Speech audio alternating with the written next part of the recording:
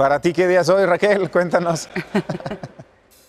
Así es, Charlie, vamos a revisar porque tenemos la probabilidad de lluvia en varias partes de la República Mexicana. Bueno, pues aquí podemos ver que esta zona de inestabilidad, 90% de probabilidades de desarrollarse, se encuentra al norte de Campeche y está dejando todos estos nublados que podemos ver hacia Veracruz, Tabasco, Península y Yucatán. Y por otro lado, también en el Pacífico sigue otra zona de inestabilidad con 90% de probabilidades de desarrollarse, así que los nublados concentrados desde Jalisco, Colima, Michoacán, Guerrero, Oaxaca, Chiapas, días de muchas precipitaciones intensas en el sur de la República Mexicana y también en el occidente. Hoy sube la temperatura para Tijuana con cielo soleado, Mexicali con nublados parciales, Hermosillo y La Paz despejados. Los cabos van a llegar a los 30 grados. Tiempo seco para hoy en Juárez, en Chihuahua, en Culiacán con 40. Condición de lluvia de un 40 a un 50% de probabilidades de precipitación en Monterrey, Ciudad Victoria, San Luis Potosí. Hoy sí va a mantener tiempo lluvioso. Vuelven las lluvias a toda la porción central del país. Luego de que ayer tuvimos tiempo seco, eh, lluvias, Querétaro, Pachuca, Tlaxcala, Puebla, Toluca, la Ciudad de México también, con un 70% de probabilidad de lluvia a las 7 de la noche, tiempo más seco en León y en Guanajuato,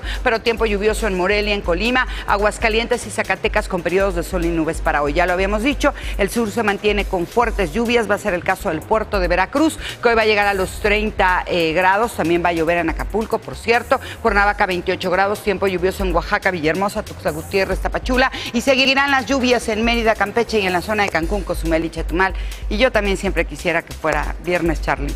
Pero es jueves, ya falta poquito, ya falta poquito. Pero es jueves, Raquel. Buen Gracias. día, Charlie. Gracias, Raquel Méndez.